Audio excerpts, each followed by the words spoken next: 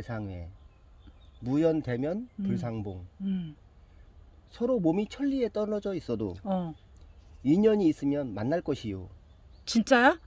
진짜? 네 무연되면 불상봉 얼굴을 마주하고 있어도 인연이 없으면 만난 것이 아니다 만난 것이 아니라고?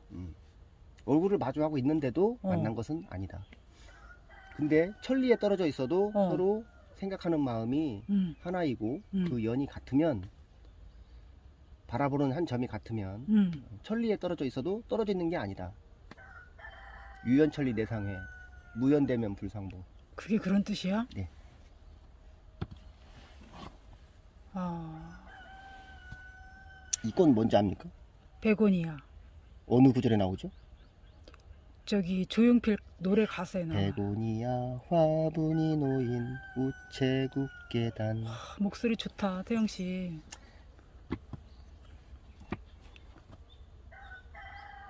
쏜살같이 흐른 시간 같지만 어.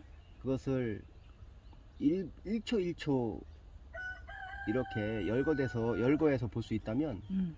하루에도 아니 한 시간에도 아니 10분 안에도 엄청난 일이 일어나지, 일어나고 소멸되고 생성하고 소멸하는 겁니다. 지나고 보니 잠깐인 것 같지만 음. 그걸 나노 기술로 조각조각 바라보, 바라보고 나중에 이어 붙여 보면 음. 어마무시한 일이 찰나찰나 순간순간 일어나고 소멸하고 일어나고 소멸하고 음. 호식이도 맞다고 지금 그러네. 이 안에 우주가 들어있는 거예요. 음. 달팽이의 촉에 우주가 들어있다고. 진짜? 네. 그 안에 블랙홀이 있고 그 안에 빅뱅이 있고 달팽이 쪽에 그 안에도 안드로메다가 있는 거예요. 달팽이 촉에도 그거 봐 호식이가 맞다고 계속 맞장구 치네. 우리가 그냥 건성으로 보거나 대략 보니까 아 그거를 아니면 어 무관심하게 아니면 어리석어서 왜냐 어, 관리비 벌러 가야 되니까.